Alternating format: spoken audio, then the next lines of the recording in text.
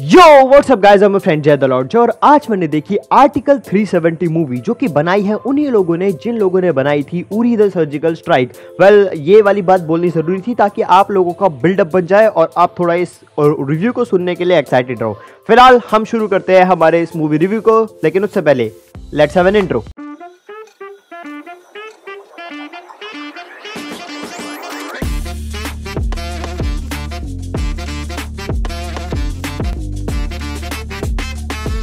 okay तो well सबसे पहले हम बात कर लेते हैं आर्टिकल 370 मूवी की कहानी के बारे में। तो यार देखो जैसे कि इसका नाम है आर्टिकल 370 इंडियन कॉन्स्टिट्यूशन के अंदर जो आर्टिकल 370 था जो कि एक बॉर्डर क्रिएट करता था कश्मीर और इंडिया के बीच में वेल well, उस बॉर्डर को क्यों इंप्लीमेंट किया गया था क्या क्या प्रॉब्लम आ रही थी उसको हटाने में और उसके रहते रहते क्या कुछ प्रॉब्लम्स क्रिएट हो रही थी और वेल उसको किस तरह से हटाया गया? ये सब कुछ हमें इस मूवी के अंदर दिखाया जाएगा। वेल अब स्टोरी तो ये तो मैं डायरेक्टली आ जाता हूँ मेरे पर्सनल एक्सपीरियंस पे। तो यार देखो, इस मूवी का ट्रेलर बहुत दमदार था। इस मूवी के ट्रेलर को देखते ही मेरे को लगने लग गया था कि यार मूवी में जान हो सकती है। जब मैंने ये मूवी देखनी शुरू करी तो स्टार्टिंग से लेके एंड तक इस मूवी ने मेरे को एंगेज करके रखा और ऐसा एक भी मूवमेंट नहीं था जहाँ पर मैं बोर हो रहा हूँ, उबास ही ले रहा हूँ या मेरा मन कर रहा है कि यार चलो कुछ थोड़ा सा फ़ोन में खोल के चेक कर लिया जाए। कुछ रील्स वगैरह देख ली जाए नहीं, पूरी बहुत मस्त मूवी थी। हर एक कैरेक्टर ने अपना बहुत ही अच्छे तरीके से रोल प्ले किया है। और देखा जाए ना तो जितनी कॉम्प्लिकेटेड ये प्रॉब्लम थी रियल लाइफ के अंदर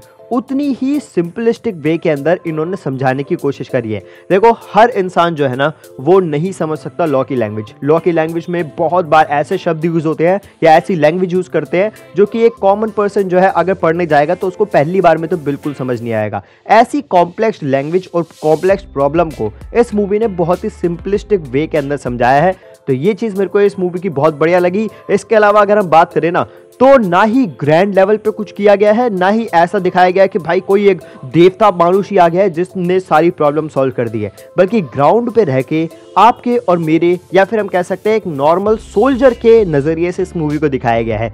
यामी गौतम हमारी तरीके से एक ऑडियंस बन सारी चीज़ देख रही होती है। ऑब्वियसली वो एक सोल्जर है तो सोल्जर का रोल भी प्ले कर रही है। पर उनको जिस जिस तरीके से चीज़ें समझाई जा रही है, उसी तरीके से चीज़ें हमें भी समझ में आ रही है।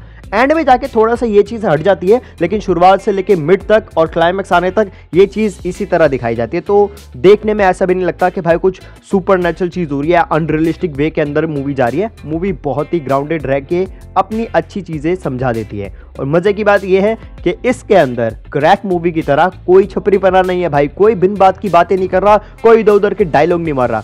जो भी पर्सन जिस भी रोल को प्ले कर रहा है, वो बहुत ही स्ट्रिक्टली रोल प्ले कर रहा है और एकदम चूज़ एंड डायलॉग्स वहाँ पर यूज़ किए जा रहे हैं। अब हम आ जाते हैं कि आर्टिकल 370 मूवी किन लोगों के लिए?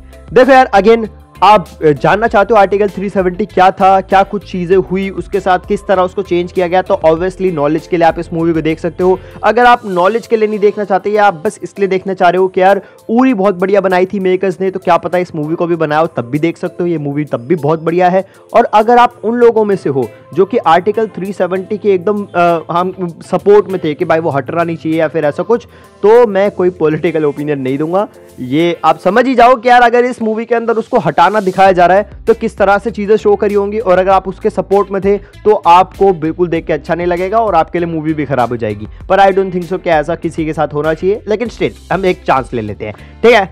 तो ये था मेरा रिव्यू एक बार तो आप इस मूवी को चेकआउट ज़रूर करना। आपको बहुत बढ़िया लगेगी ये मूवी इस वीकेंड के ऊपर आर्टिकल 370 और क्रैक के बीच में मैं हमेशा चूज़ करूँगा आर्टिकल 370 को और क्रैक को चूज़ करने वाली ऑडियंस समझ जाओ फिर कैसी हो सकती है।